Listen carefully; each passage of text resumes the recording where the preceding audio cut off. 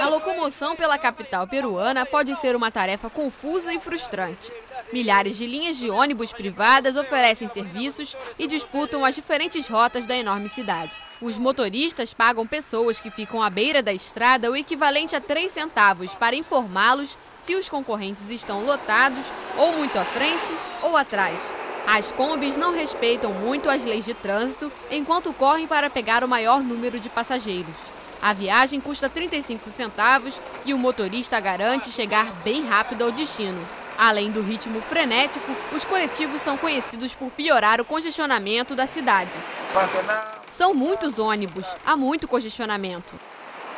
Até muito recentemente, Lima era a única cidade na América Latina com nenhum sistema de transporte público. A população dependia das combis, carros particulares e táxis.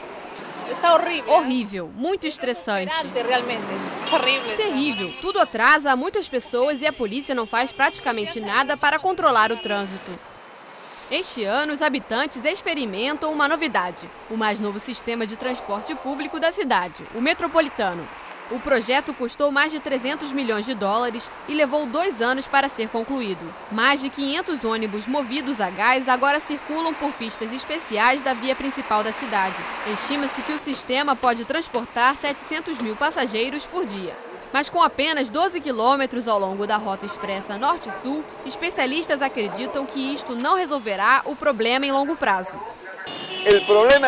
A questão é que apenas 8% da população se beneficiam do atual serviço. Precisamos que o sistema continue a expandir.